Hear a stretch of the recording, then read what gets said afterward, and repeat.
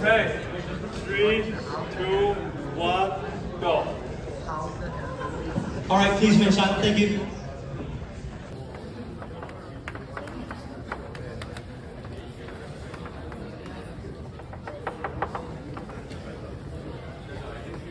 So here's the solution to this integral, which is from the Berkeley Math Tournament during the Integration Bee activity. And I was a guest slash a co-host for the Integration Bee on that day.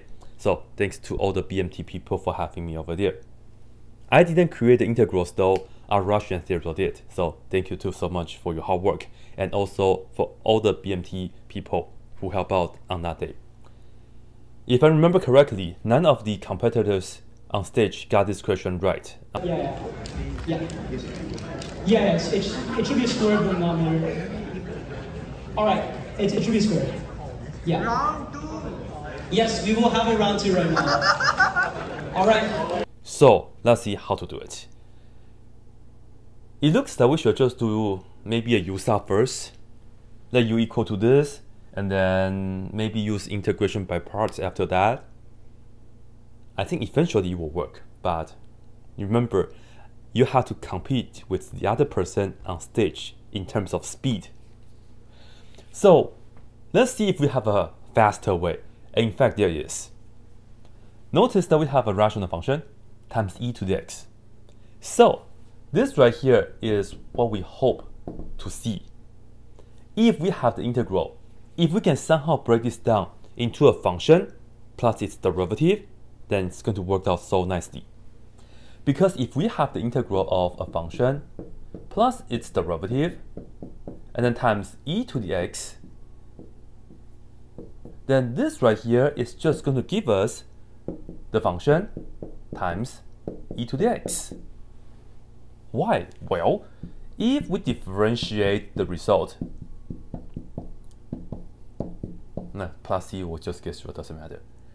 Differentiate this, we keep the first function times the derivative of the second plus the second function times the derivative of the first, which is f prime of x.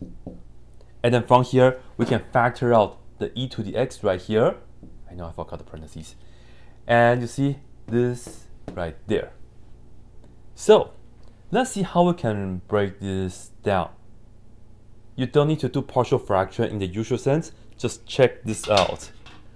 So here we go. Integral. The bottom here is x plus 1 cube. The top is x minus 1. We don't like that.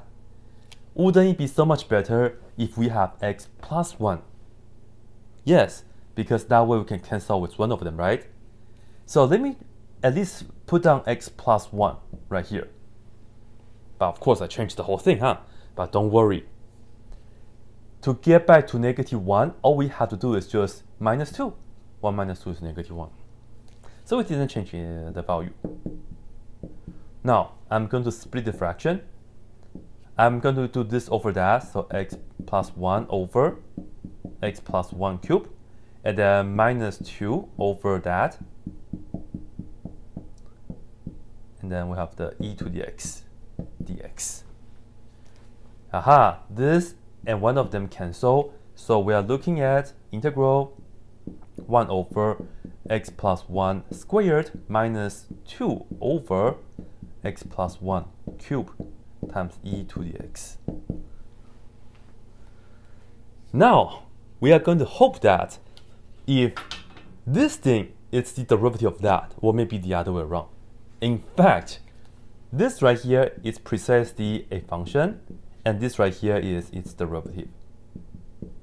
Why? Let me show you.